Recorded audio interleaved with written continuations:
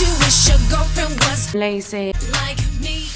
All of Cardiff know me anyway. I'm an extremely good vocalist. I sing like Prince, for Christ's sake. I can sing like Cyndi Lauper and Prince, for Christ's sake. So, you know, you don't get any more versatile than that.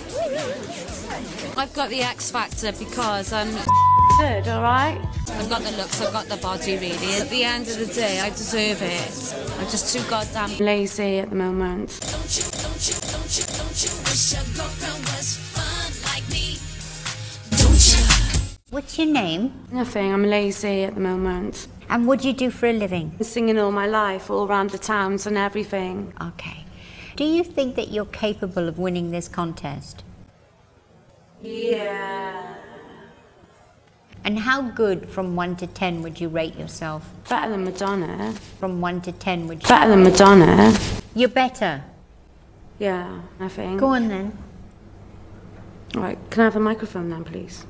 Nobody does Microphone. anymore. It's called a cassette. That's very rude, isn't it? All right, can I have a Cassette. then, please? You're holding a stick above my head. It'll find you.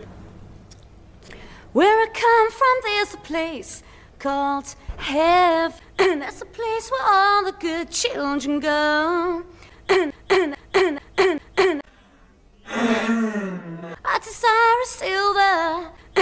Strips of gold, but there's more where you come from. My sugar walls, my sugar walls, Ooh, my sugar walls. It was good, wasn't it? Let's face it. No. No. You've got a really bad attitude, sweetheart. Hmm. Everything I wouldn't want. Lazy. Hmm. Deluded. Hmm.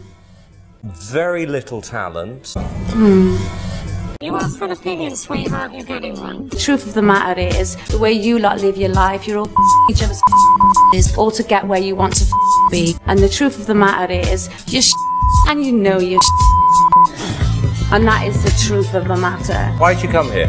Why'd I come Why'd you here? come in because today? I know it was good. And that is the truth of the matter. Alright? And I'd get your hands off me as well because at the end of the day, if you I will and that is the truth of the matter. Not touch me.